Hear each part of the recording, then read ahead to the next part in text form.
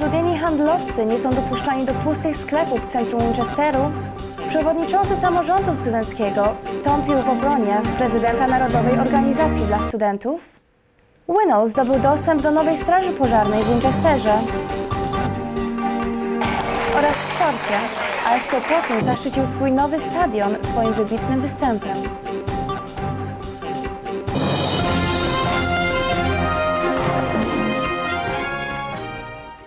Dzień dobry Państwu, Justyna Chłont. Zapraszam na specjalną edycję w Winchester News Online. Centrum Winchesteru jest dobrze znane z wielkich nazw markowych. Niestety dwa sklepy są puste i takie już pozostaną mimo ogromnego zainteresowania handlowców. Sam Haywood. Te lokale w centrum miasta Winchesteru są puste już od ponad roku. Jeden z miejscowych biznesmenów usiłuje dostać pozwolenie na wynajem tych sklepów, jednak odpowiedzią zawsze jest nie. Tomato Ormita wielokrotnie próbował przenieść swój sklep do samego centrum miasta. Od 15 lat jest to wielkim niepowodzeniem ze względu na nazwę sklepu. Od razu mi wytłumaczono, że lokale mogą tylko i wyłącznie być wynajęte przez wielkie i dobrze znane firmy handlowe. Bardzo ciężkie jest osiągnięcie tego celu. Mieszkańcy Winchesteru nie widzą różnicy w posiadaniu sklepów o wielkich nazwach niż posiadaniu małych, samozatrudnionych sklepów. Tutaj wszystko mamy w centrum miasta. Sklepy zapewniają wszystko, czego potrzebuje. Niczego nam tutaj nie brakuje. Rozmawialiśmy z Osmem Brooks, agencją wynajmującą, którzy stwierdzili, kiedy pieniądze zostaną przydzielone przez pożyczkodawcę, będzie to tylko oparte na podstawie tego, że wynajmujący jest znanym oraz doświadczonym detalistą, który jest gotowy wziąć dzierżawę na 15 lat bez żadnej przerwy. Te sklepy pozostaną puste aż do dnia, kiedy Osmond Brooks nareszcie znajdzie dobrze znanego handlowca, który może przyjąć lokal. Kontrowersyjny prezydent Narodowej Organizacji dla Studentów, Aaron Porta, nie będzie kontynuował swojej kadencji w kolejnych wyborach, mimo tego, że bezbłędnie stawił czoła wszelkim przeciwnościom w najgorszych momentach historii organizacji. Kieran Brannigan. Studenci wyszli na ulicy Londynu w listopadzie, aby sprzeciwić się wzrostom opłat studenckich. Człowiek, który zorganizował ten protest, potwierdził już, że nie będzie startował w nowych wyborach na prezydenta Narodowej Organizacji dla Studentów. Tutaj na Uniwersytecie w Winchesterze pojawiło się wiele różnych poglądów na temat jego decyzji. Jak już wcześniej mówiłam, on jest bardzo dobrym przewodniczącym. Ten rok był naprawdę ciężki i on naprawdę dobrze sobie poradził. Niewiele o nim wiem, ale patrząc na szkody po proteście, być może to i dobra decyzja. Studenci mają nadzieję, że nowy przewodniczący będzie kontynuował walkę przeciwko wzrostom opłat bądź polepszy jakość nauczania. Najważniejszą rzeczą, na którą nowy przewodniczący musi zwrócić uwagę, jest przygotowanie studentów na wysokie opłaty roczne. Wybory na nowego prezydenta będą miały miejsce we wiosnę. Stali klienci w jednym z barów Eastleigh opróżnili swoje kieszenie, kiedy instytucja charytatywna Naomi House zwróciła się o pomoc publiczną. Ścira Pinczuk. W okresie cięcia budżetowego miejsca charytatywne, takie jak Naomi's House, mają problemy z otrzymaniem wsparcia finansowego.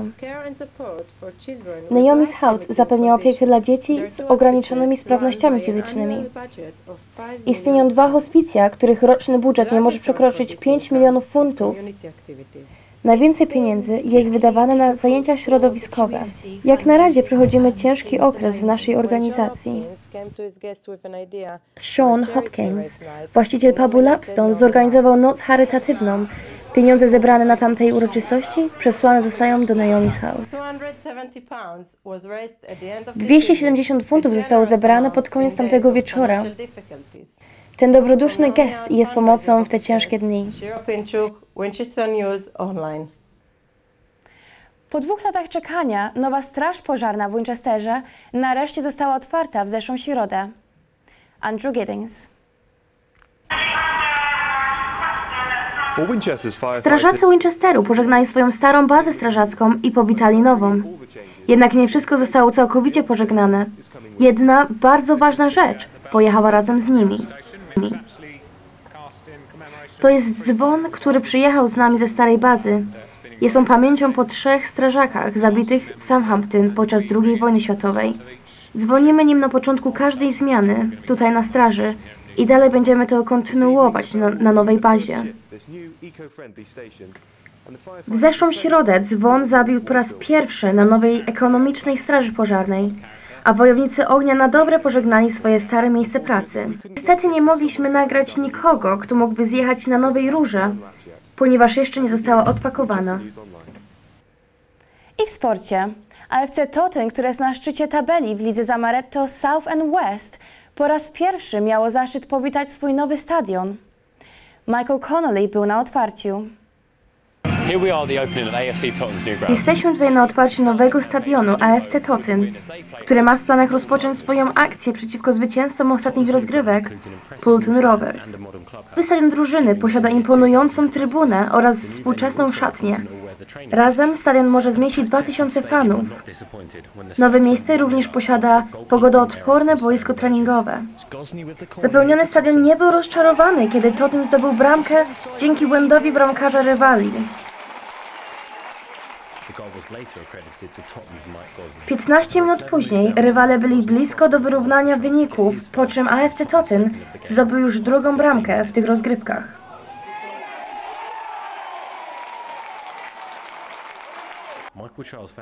Michael Charles przejął piłkę i ze sprytnym ruchem ominął linię spalonego i skończył z kolejnym punktem dla AFC Totten.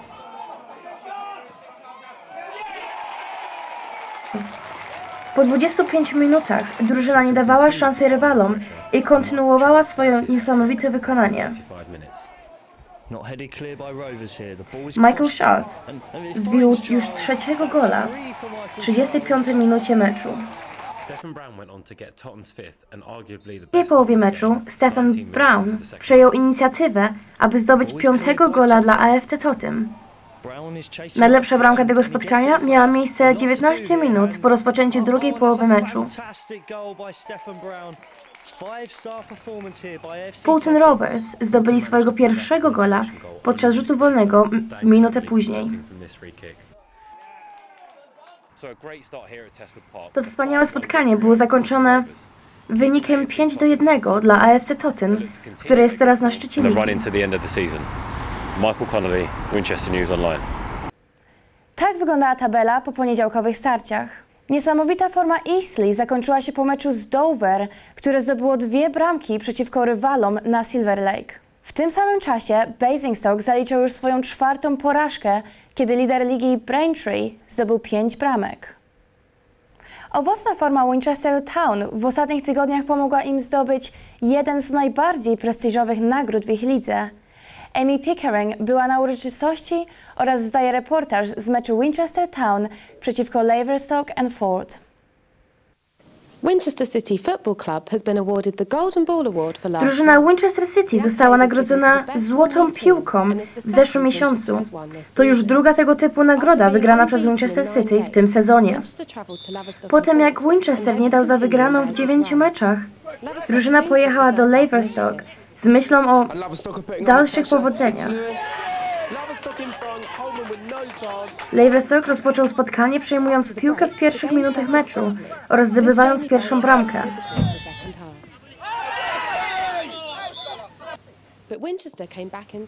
Po przerwie mecz rozpoczął się ostro, po czym Winchester City powrócił do gry w lepszej formie, zdobywając pierwszego gola w tym spotkaniu. Laverstock nie dawał za wygraną i wkrótce zdobył kolejnego gola.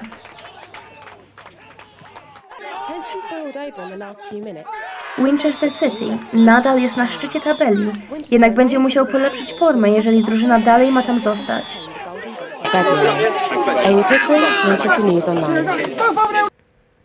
I na koniec, dla wszystkich zainteresowanych, Westgate Hotel w Winchesterze organizuje zabawę karnawałową w polskim stylu. Będzie można posłuchać polskiej muzyki, spotkać wielu rodaków, a także spróbować polskiego piwa i darmowej polskiej kiełbaski. Zapraszamy serdecznie w tą sobotę o godzinie 19 w Westgate Hotel w centrum miasta Winchesteru. To wszystko na ten tydzień. Zapraszam na naszą stronę internetową, gdzie znajdziecie Państwo więcej wysoko nagrodzonych reportaży. Życzę miłego wieczoru, dziękuję za uwagę i do zobaczenia.